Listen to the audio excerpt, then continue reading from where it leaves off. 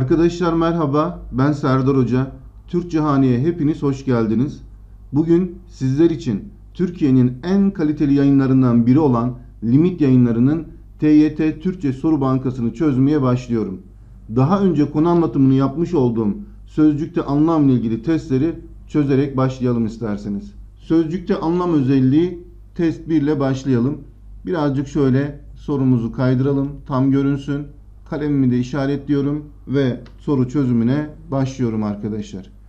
Birinci soruda aşağıdaki cümlelerde altı çizili olarak verilen sözcüklerin hangisinde bu parçadaki altı çizili sözlerde belirtilen yönteme bakın başvurulmamıştır diyor. Olumsuz bir soru sormuş. İfademize bakalım. Parçayı okuduğumuzda altı çizili sözcük var olan sözcüklere farklı anlamlar yükleyebilir demiş. Arkadaşlar var olan sözcüklere farklı anlamlar yüklüyorsa o zaman bu sözcüğün mecaz anlamını, yan anlamını kullanıyor demektir değil mi? Bunları kullanıyor demektir. O zaman biz buradan neyi anlarız?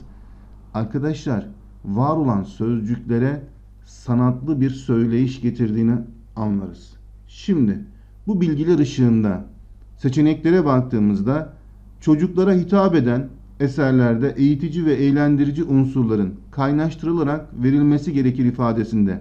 Kaynaştırmak nedir arkadaşlar? Bir araya getirmek için e, kullanılmamış mı? O yüzden bakın burası mecazlı bir söyleyişe sahiptir.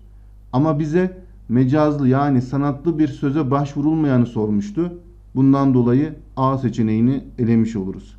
B seçeneği dursun. Türkçenin gücünü eski rafların arasında kaybolmuş eserlerde bulduk ifadesinde. Burada Türkçenin gücü nasıl ortaya çıkar arkadaşlar? Siz de bilirsiniz ki Türkçenin gücü Türk dilinin zenginliğiyle arkadaşlar ortaya çıkar. Yani burada Türk dilinin zengin olanaklarından e, faydalandığını söylüyor. Dolayısıyla buradaki güç kelimesi de yine mecaz anlamda kullanılmıştır. Bundan dolayı C seçeneğini delemiş oluruz. Köyden kente göçenlerin çoğu zaman geçtikçe açılır ve kent yaşamına ayak uydurur. Bakın burada ayak uydurmak ifadesiyle neyi kastediyor? Arkadaşlar düzene uymasından bahsediyor değil mi? O yüzden yani içinde bulunan şartlara uymaktan bahsediyor. Ayak kelimesi de dikkat edecek olursanız diğer sözcükle mecaz anlam kazanmış. O yüzden D seçeneğini denemiş oluruz. Beni bunca şeyi yapmaya iten daha önce yaşadığım bazı olaylardır ifadesinde buradaki iten kelimesi yönlendiren anlamında kullanılmamış mı? Evet.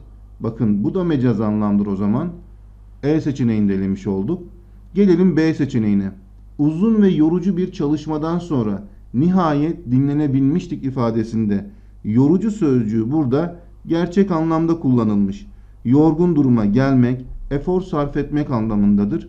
O yüzden burada sanatlı bir söyleyişe yani sözcüklere farklı anlamlar yüklenmemiş, gerçek anlamıyla kullanılmış. Bundan dolayı da cevabımız B seçeneği olacaktır. İkinci soru bu parçadaki numaralanmış sözcük veya sözlerle ilgili olarak aşağıda verilenlerden hangisi yanlıştır demiş. Bakalım. Birinci sözcük çağdaş, yaşadığı zamanı anlatan anlamındadır. Bakalım. Bugünün yazarı dışa dönüklüğü yeniden tanımlamaya uğraşırken ifadesinde bugünün yazarı ifadesiyle neyi kastediyor arkadaşlar? Günümüzde yaşayanı kastetmiyor mu? Günümüzde yaşayan anlamına gelir değil mi?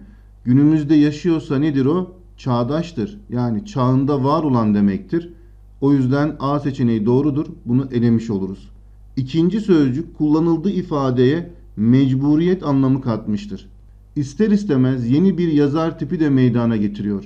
Bakın burada ister istemez nedir? Ne anlamı katıyor arkadaşlar? Zorunluluk. Yani istesen de istemesen de yeni bir yazar tipi oluştuğu anlamını katmış. Bu da zorunluluk. Zorunluluk nedir peki? Mecburiyettir. Bu da doğrudur. Bunu da elemiş oluruz. Üçüncü söz eskiden beri anlamındadır. Oldum olası. Eskiden beri, geçmişten beri anlamlarına gelmiyor mu bu? Geçmişten beri. Bakın eskiden beri anlamına gelir. Bu da doğrudur. Bunu da elemiş oluruz. Dördüncü söz cümleye örnek olma, öykünme anlamları katar demiş. Bu dursun arkadaşlar. Beşinci söz mecaz anlamda olup üzüntü verici anlamındadır. Bakın acıklı bir durumu anlatan bir tip derken evet mecaz anlamda kullanmış. Acıklı ifadesi burada keder, üzüntü anlamına gelmiş. Bu da doğrudur. Bunu da elemiş oluruz. Fakat D seçeneğinde yer alan yatsımak kelimesi arkadaşlar örnek olmak, öykünmek değil, inkar etmek anlamına gelir. Bundan dolayı da bu ifade yanlıştır. Bunun için de doğru cevabımız D seçeneği olacaktır. Geçiyoruz üçüncü soruya. Bu parçada boş bırakılan yerlere aşağıdakilerin hangisinde verilenler sırasıyla getirilmelidir demiş. Parçamıza bakalım. Toplumların yaşama biçimleriyle dilleri birbirleriyle örtüşür demiş. Bakın buradaki örtüşür kelimesi çok önemli. Örtüşür ne demek arkadaşlar? Kaynaşır demek değil mi? Yani iç içe geçer anlamına gelir. Peki örtüşen şey, kaynaşan şey nasıl olur arkadaşlar? Uzun uzadıya olmaz, son derece olmaz. Bakın kaynaşan şey sıkı sıkıya birbirine bağlıdır değil mi? Bu olabilir. Uzaktan uzağa bu da olmaz. Önemli derecede bu da olmaz. Devam edelim. Cevabımız çıktı aslında. O toplumda var olan olgular, durumlar ve olaylar dillerine de yansır büyük ölçüde olsa mantıklı oluyor. Bundan dolayı da cevabımız C seçeneği olacaktır. Dördüncü soru. Cümlelerin hangisinde altı çizili sözcük ile ayraç içinde verilen sözcük veya söz anlamsal açıdan tam uyuşmamaktadır diyor. Bakalım. İlişki dostluk demiş. Seninle artık tüm bağlarımı kopardım ve seni hayatımdan sildim. Evet, seninle tüm ilişkimi kopardım desem anlamlı. O yüzden A seçeneğini eleriz. Yani uyuştuğunu görüyoruz. B seçeneği dursun. Ben hayatım boyunca dostluklara önem vermiş bir insanım. Ömrüm, yaşamım diyor. Hayat zaten yaşam demek. Bu da doğrudur. Bunu da elemiş olduk. Alakalı dair ana dile ilişkin kimi temel bilgileri herkesin bilmesi gerekir ifadesinde ilişkin alakalı ana dile dair kimi temel bilgiler desem bakın bu da mantıklı oluyor. O yüzden bu da uygundur. Bunu da elemiş oluruz. Sade anlaşılır. En yalın anlatımla edebiyat güzel söz yazma ve söyleme sanatıdır ifadesinde yalın, sade, yalın, anlaşılır. Her ikisi de oluyor. Anlamlı olduğunu görüyoruz. Uyuştuğunu görüyoruz. Bunu da elemiş olduk. Fakat B seçeneğinde öğretmen soruyu bu defa değişik bir yolla çözmüştü ifadesinde. Bakın çözmüştü burada nedir? Bulmuştu değil mi? Çözümünü farklı bir yolla bulmuştu anlamına gelir. Fakat tartışmak ya da düşünmek anlamlarına gelmez. O yüzden bunun örtüşmediğini görüyoruz. Yani tam olarak uyuşmadığını görüyoruz. Buraya gelebilecek en uygun sözcüklerden birisi bulmak kelimesidir. Bundan dolayı da cevabımız B seçeneği olacaktır. Beşinci soru ağır sözcüğünün yukarıdaki cümlelerde kazandığı farklı anlamlar verilmiştir. Buna göre bu sözcüğün bu cümlelerde kazandığı anlamlardan hangisi bu sözcüğün yan anlamlarından biri olamaz demiş. Bakalım. Düğünde ağır armağanlar aldık derken buradaki ağır sözcüğü ne anlama gelmiş? Pahalı, değerli anlamına gelmiş değil mi? O yüzden arkadaşlar biz bakın buradan A seçeneğini çıkarabiliriz. Yani değeri çok olan ifadesi çıkar. Bundan dolayı A'yı eledik. Çevreye çok ağır bir koku yayılmış derken buradaki ağır bir koku keskin anlamına gelir değil mi? Yoğun anlamına gelir. Arkadaşlar biz buradan da B seçeneğini çıkarabiliriz. Keskin, boğucu bir koku anlamına geldiği için bunu da elemiş oluruz. Denizin üstüne ağır bir duman çökmüştü derken buradaki ağır bir duman ifadesi nedir? Yoğun bir duman olduğunun göstergesidir. Bundan dolayı biz D seçeneğini denemiş oluruz. Çünkü yoğun ifadesi var. Bu savaşta ağır tanklar kullanılmıştı dediğinde buradaki ağır ifadesi de ne anlamı katıyor? Ağır tank derken güçlü tanklardan bahsediyor arkadaşlar. Peki biz buradan neyi çıkarırız? Bakın buradan da E seçeneğini çıkarmış oluruz. Güç ifadesi var.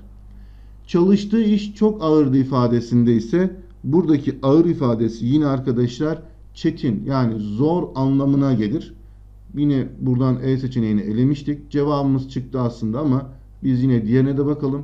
Kurşun ağır bir madendir derken arkadaşlar buradan da yoğun olduğunun göstergesidir. Buradan da yine D seçeneğini elemiş olurduk. Bu cümlelerde sıkıntı veren, kırıcı anlamlarına gelen bir ifade olmadığı için cevabımız da C seçeneği olacaktır. Altıncı soru. Bu parçada numaralanmış sözlerden hangisi anlamca ötekilerden uzaktır demiş. Arkadaşlar kelimelere bakalım. Oldu bittiye getirmenin yani hemen aceleye getirmemenin bir başka yolu demiş. İvedi zaten hızlı demek değil mi? Hiç düşünmeden hemen hızlı bir şekilde yapı vermek derken bakın buradaki i vermek nedir? Zaten tezlik fiilidir. Bu da hemen anlamına gelir. Hızlı anlamına gelir. Zamanla halledilecek olan derken arkadaşlar buradaki zamanla ifadesi yavaş yavaş ya da ağır ağır anlamlarına gelir. Daha çok yavaş yavaş anlamına yani zamana yayarak anlamına geliyor. Şimdi şu dördüne baktığımızda ilk dördüne baktığımızda hemen ve hızlı anlamına geldiğini görüyoruz.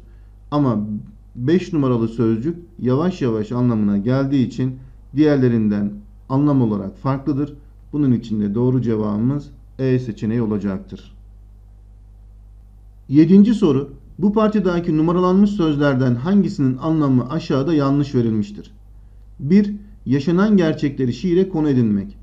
Bu sanatçımızın şiirleri hayatın aynasıdır. Bakın arkadaşlar ayna karşısındaki şeyi yansıtır. Dolayısıyla şiirde ne yapıyormuş? Hayatı yansıtıyormuş. Yani hayatı anlatıyormuş. Bundan dolayı gerçekleri konu edindiğini görüyoruz.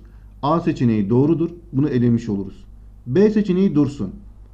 3. Yaşananlara kendi duygularını da katarak dile getirmek. Duyduklarını duygularının öz soyunda yoğurup anlatmıştır ifadesinde bakın duygularını yoğurarak anlatımına katmış. Yani arkadaşlar duygularını ne yapıyor? Anlatımında kullandığını görüyoruz. Yani anlatıma duygularını katmış. E, realist bir şekilde yazmamış. Kendi duygu ve düşüncelerini de eserinin içerisine aktardığını görüyoruz. C seçeneği de doğrudur. Bunu da elemiş oluruz. 4. İnsanları güldürürken düşündürmeyi elden bırakmamak. Bakalım bunu yaparken de nükteyi elden bırakmamıştır. Peki neyi yaparken nükteyi elden bırakmıyor? Onun için de üstteki cümleyi okumak lazım. Son zamanlarda toplumsal yozma, yozlaşmayı yergilerine konu edinmiştir. Yani bir taraftan nükteyi elden bırakmayarak insanları güldürürken arkadaşlar bunun yanında ne yapıyor? Düşündürmeye de devam ediyor. Nasıl? Çünkü e, toplumsal yozlaşmayı yergilere konu edinerek bunun insanları da düşündürdüğünü görüyoruz. Bundan dolayı D seçeneği de doğrudur. Bunu da elemiş oluruz. 5. Yaşama dair yol gösterici ve çözümleyici fikirler vermek. Bakalım bunları yapmanın ötesinde hayat tecrübelerinden yararlanarak kurtuluş reçeteleri yazmıştır diyor. Reçeteyi kim yazar arkadaşlar? Doktor yazar. Peki neden yazar? İyileşmek için yazar değil mi? O yüzden hastanın yol göstericisi nedir? Yol göstericisi tabii ki reçetedir. Kurtulmak için, hastalıktan kurtulmak için reçetedir. Burada da arkadaşlar dikkat edecek olursanız yazar burada reçeteyi yol gösterici yani çözümleyici unsur olarak okullarına ne yapıyor? Sunmuş oluyor. Bundan dolayı E seçeneği de doğrudur. Bunu da elemiş oluruz. Fakat B seçeneğine geldiğimizde toplumsal hayatın dışında kalıp kendi kabuğuna çekilmek demiş.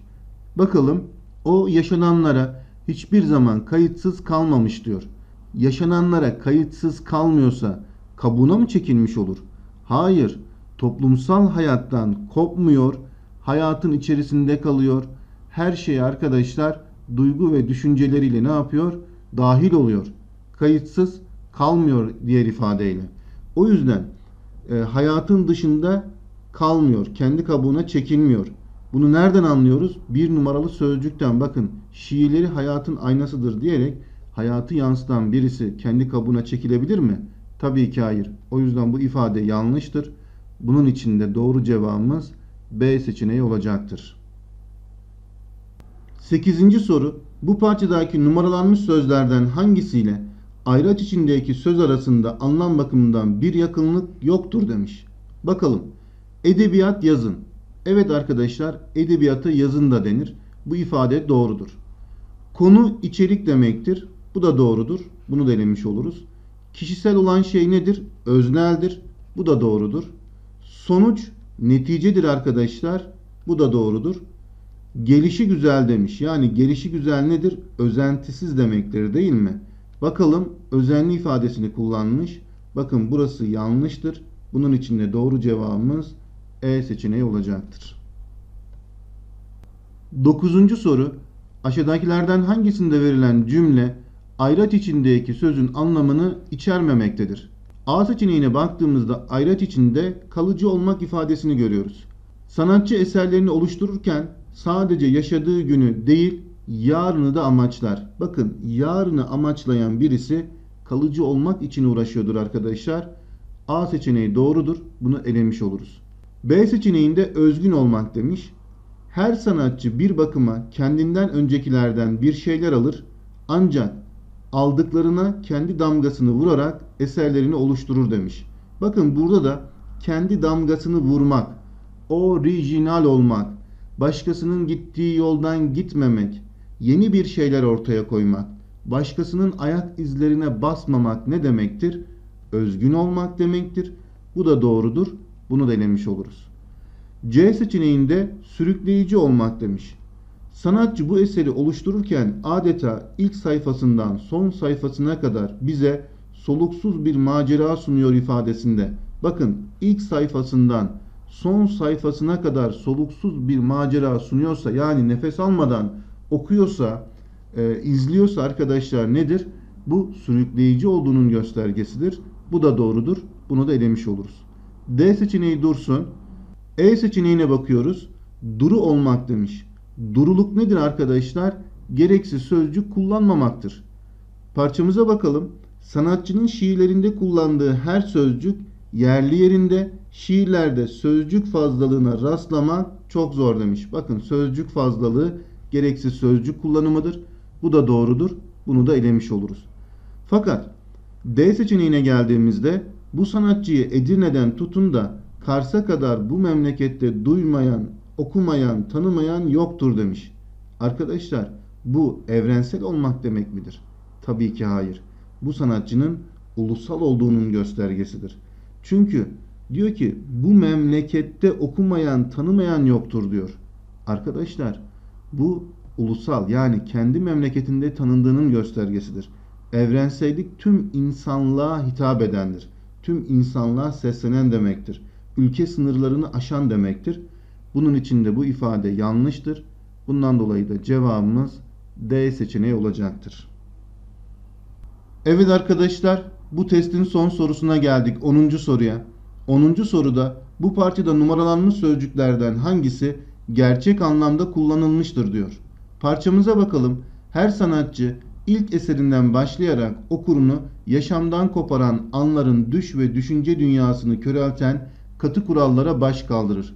Okura yepyeni ufuklar açar. Bakın buradaki açmak kelimesi sunmak anlamına geldiği için mecaz anlamdadır. Bunu elemiş oluruz. Yine katı kural derken katı sözcüğü burada tavizsiz anlamına gelir. Bu da mecaz anlamdadır. Bunu da oluruz. Peki körelten ne anlama gelir arkadaşlar? Değerini veya da önemini yitiren ya da dumura uğrayan ya da yeteneğini kaybeden anlamına gelir.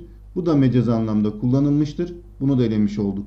Peki koparan yani yaşamdan koparan ne anlama gelir? Yaşamdan ayıran anlamına gelir. Bu da mecaz anlamda kullanılmıştır. Bunu da elemiş olduk.